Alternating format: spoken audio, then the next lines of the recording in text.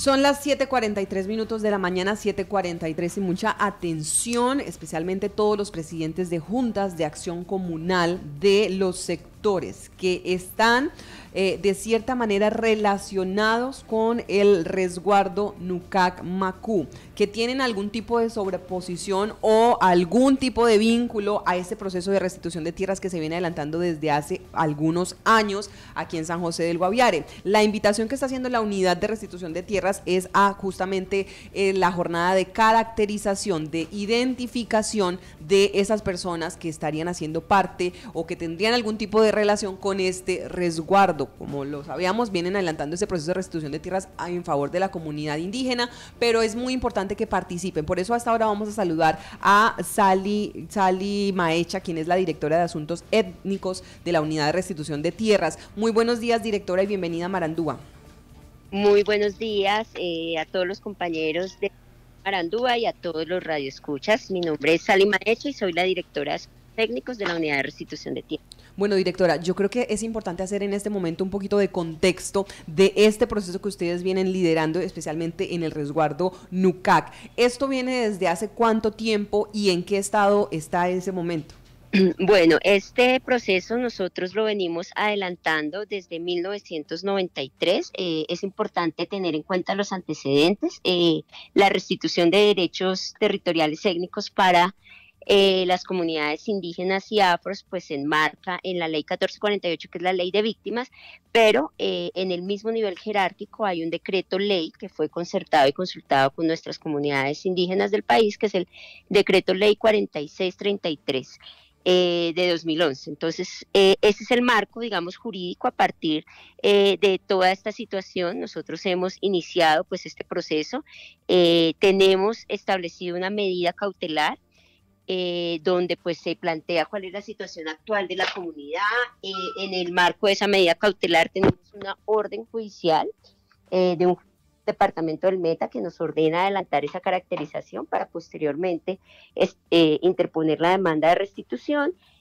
pero pues lo importante es plantear que desde 1993 en adelante nosotros hemos venido estableciendo un proceso de articulación con la población indígena NUCAT eh, con el fin de poder consolidar toda la documentación necesaria para que ellos accedan a la garantía de su derecho a la restitución mediante un proceso de restitución que sea de conocimiento de un juez de la República.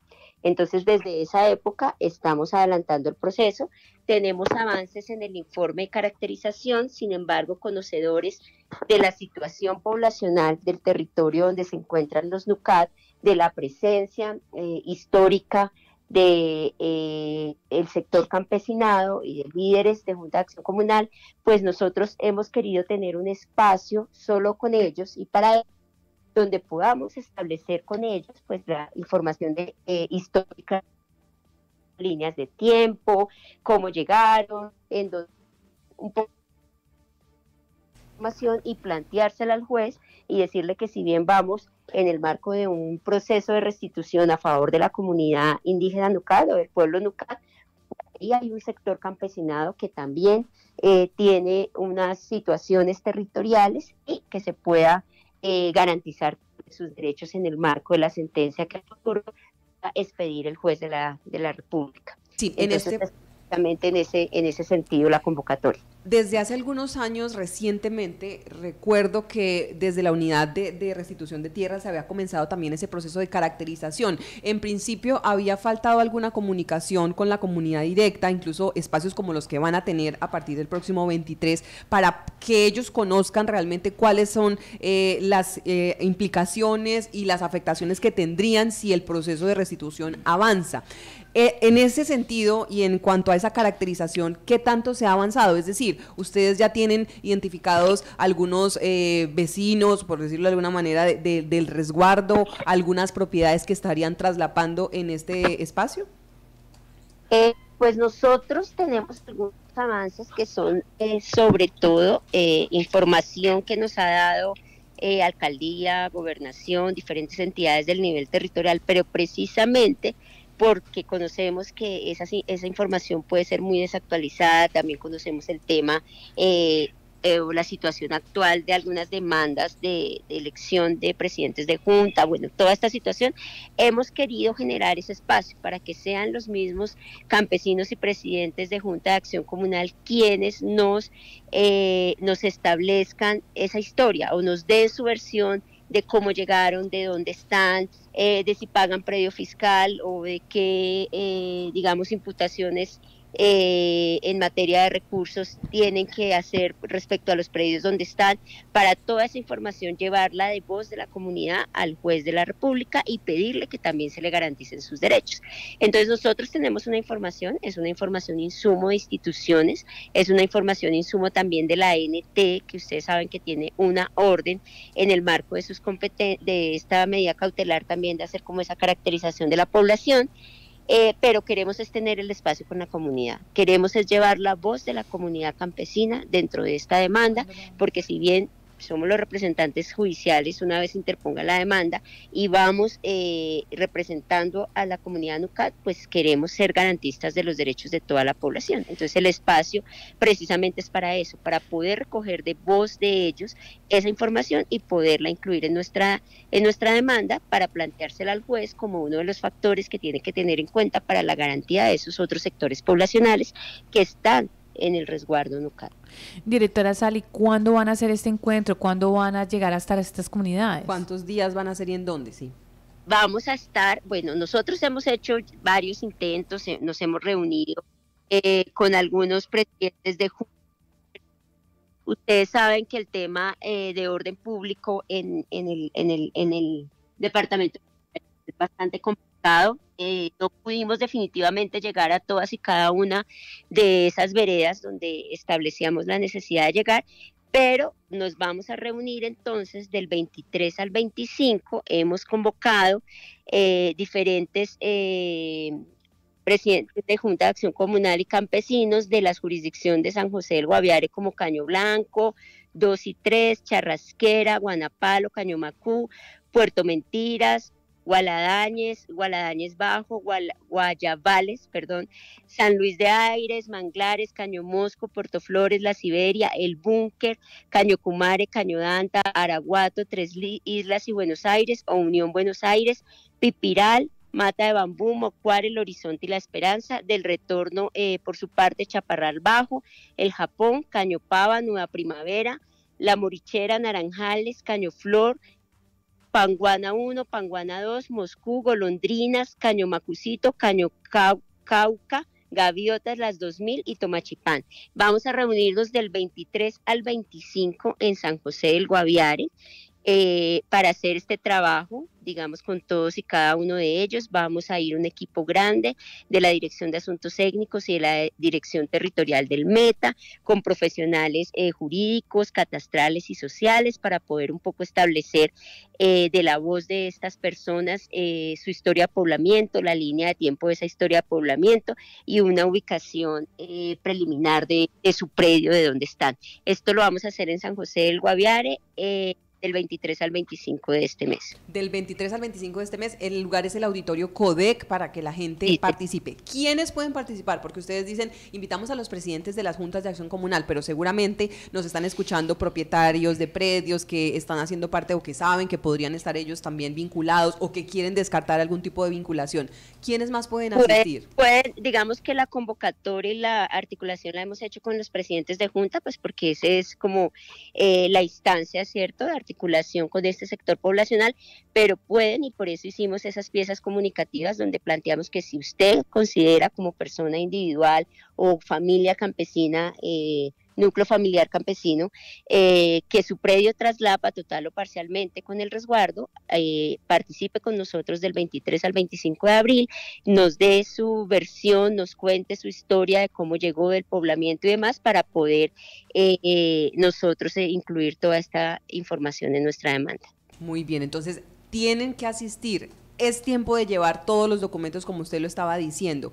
¿Qué pasaría y cuáles serían esos escenarios posibles? Eh, yo sé que eh, tal vez es, como, como anticiparnos porque todo depende igual de lo que pase ante el juez, pero la, el mayor miedo que tienen en este momento la población y lo que han expresado a lo largo de esos últimos procesos y acercamientos que ustedes han hecho eh, es el, el miedo de perder esos territorios, de tener, a pesar de tener algún tipo de documento que les da, digamos, esa propiedad sobre este terreno, pues temen ellos perder. ¿Eso, eso sería posible? Es decir, eh, ¿podría ser un, un escenario que se presente al término de este proceso? Bueno, como tú mismo dices, es un poco adelantarnos, pero precisamente para garantizar o decirle al juez que en el marco de su decisión garantice los derechos de estas otras personas, es que necesitamos esos insumos. Si no, yo como le digo, si, si yo tengo, nosotros tenemos la información de los NUCAD y estamos pidiendo temas para los NUCAD, pero sin la información de todo y cada una de estas personas que consideren que su predio traslapa, pues yo no le puedo plantear al juez su situación. Y con este insumo, ¿qué hacemos nosotros, comunidad de restitución? Le pedimos que le garantice su derecho. El cómo garantiza el derecho es, digamos, lo que va a ser eh, parte de la sentencia del juez de restitución, porque nosotros, ¿qué hacemos? Nosotros les informamos los hechos, le planteamos las afectaciones y él define el derecho. El derecho lo define el juez. Pero nosotros, para que tengan la tranquilidad los campesinos, siempre pedimos garantía de los derechos de las otras personas que están en ese territorio. El cómo, el cómo lo define el juez en el marco de las competencias institucionales.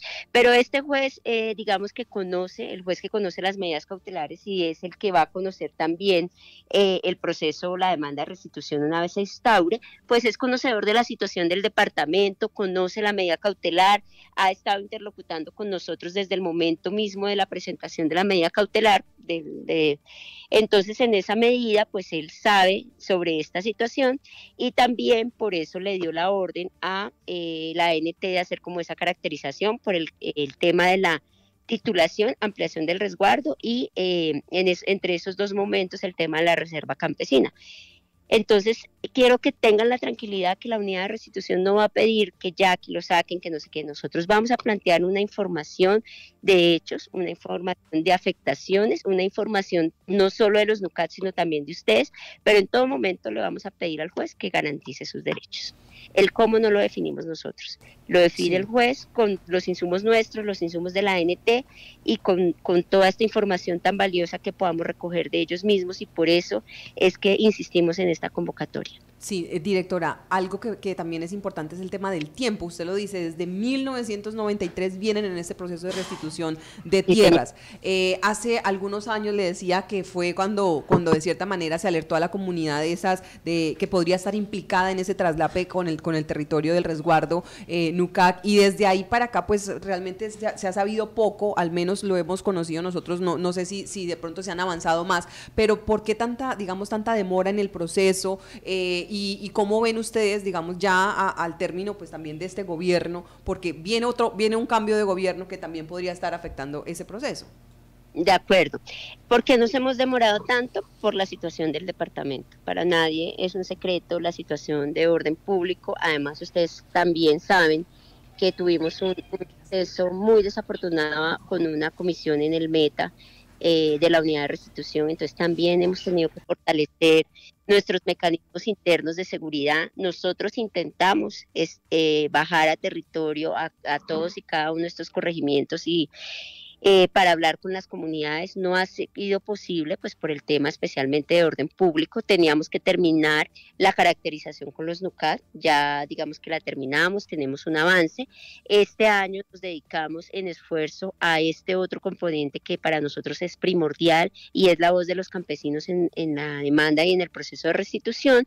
Intentamos hacerlo eh, varias veces, pedimos como en el marco de la articulación que tenemos de nuestros procesos internos autorización para ir a territorio y no pudimos, pues por las situaciones de orden público. Entonces, por eso decidimos, hagámoslo en una convocatoria abierta en San José del Guaviare para poder garantizar que vamos a cumplir con este componente. También porque nos demoramos, porque ustedes saben que en la medida cautelar pues hay una orden también a cargo de AET para una caracterización de esta población. Ellos también han podido entrar a unas zonas, pero no a todas, y en ese sentido, pues eh, esa información no está. Entonces, por eso quisimos hacerla en San José, que es un sitio al que podemos bajar, al que puede llegar la comunidad y en el que nos podemos encontrar y darnos tres días para oír de parte de ellos directamente cuál es eh, su versión de la historia de cómo llegaron, dónde están y cuáles son como esos derechos frente al tema territorial. Directora, en este caso no sería posible que ustedes hablaran con los líderes campesinos, con los líderes indígenas, para ustedes poder llegar a esas zonas tan apartadas, tan alejadas y que de pronto no han podido recoger información. Nosotros hemos hablado con los líderes indígenas, hemos hablado con algunos líderes campesinos, pero eh, por el tema de lo que nos pasó en el PETA con nuestra comisión, pues nosotros digamos que tenemos, por ejemplo, un, un, un, un esquema intermedio, que es que llegamos hasta cierto punto con la fuerza pública y de ahí en adelante con las eh, guardia indígena, por ejemplo, pero pues esas condiciones eh, se pueden dar de pronto en otros departamentos con otras comunidades indígenas que tienen un avance, digamos, o un fortalecimiento mayor con el tema de su guardia y donde el tema de, ese diálogo con los actores es más fácil, pero en el departamento no ha sido posible, lo hemos intentado, pero pues tenemos que proteger tanto a los campesinos, a los NUCAT como a nuestra comisión. Entonces, eh, por eso decidimos hacerlo en San José, pero después de muchos esfuerzos de tratar de hacerlo eh, en territorio directamente. Muy bien, ahí está entonces la invitación para el próximo 23 al 25. Son tres días eh, en los que van a estar realizando esta jornada aquí en San José del Guaviare para que usted, que está siendo parte de pronto de este proceso, que puede estar siendo parte, que tiene la duda, que conoce a alguien, pues le pase la noticia, le, le pase la marandúa, como decimos, y el próximo 23, 24 y 25 de abril en el Auditorio Codec aquí en San José del Guaviare, eso es en el barrio La Esperanza participe de esta convocatoria con la unidad de restitución de tierras, porque es muy importante que se avance en el proceso, que se aporte la, información de manera oportuna, a ver si, si pues se logra avanzar eh, de manera significativa en este proceso, como nos lo cuenta la directora de Asuntos Étnicos, Sali Maecha. Pues directora, gracias por esta información. Estamos muy pendientes desde Marandúa para poder informar a la comunidad de estas oportunidades en las que ellas pueden hacer parte de estos procesos tan importantes. De acuerdo, si tiene alguna duda, eh, la población convocada tenemos unos números de teléfono a los que se pueden comunicar. Eh, si me permites, los puedo dar. Claro que sí. 20 317 1041 320 083 43 360. Y también que sepan que digamos que esto se hace enmarcado en el proceso colectivo, ¿cierto? Y, lo que va a ser la demanda de restitución de los NUCAT.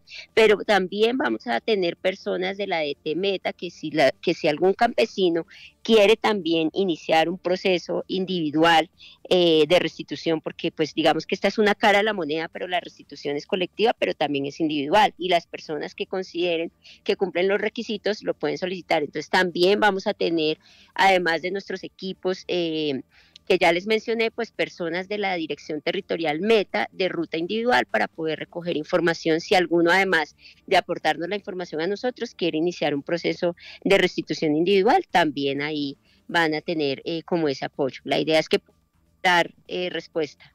¿Ustedes punto de atención presencial acá en, en San José? Nosotros estamos en esas, eh, digamos que tenemos eh, como jornadas de, ir al territorio y hacer esta recolección, pero para este caso en específico vamos a tener una persona ahí los tres días acompañándonos para que reciba las solicitudes de las, de las personas individuales que se enmarcan, digamos, como en este proceso de, de posible traslape con el territorio NUCAT. Sin embargo, pues también va a estar nuestra directora territorial, eh, que digamos que esto ya por ser un tema de individual no lo manejo tan bien, entonces podríamos pues establecer eh, las articulaciones que sean necesarias para ver cómo se está generando ese punto cómo se están generando las gestiones para ese punto de atención y cuáles son como esas eh, presencias que se hacen en el departamento. Si quieres eso, lo puedo eh, documentar en mejor forma territorial. Perfecto. Perfecto, entonces también de pronto algunas personas que estén interesadas en procesos individuales van a poder asistir a esos, a esos días acá eh, en campo. Pues estaremos muy pendientes para compartir la, información de manera oportuna. Muchas gracias, directora, por estar aquí con nosotros en Marandúa.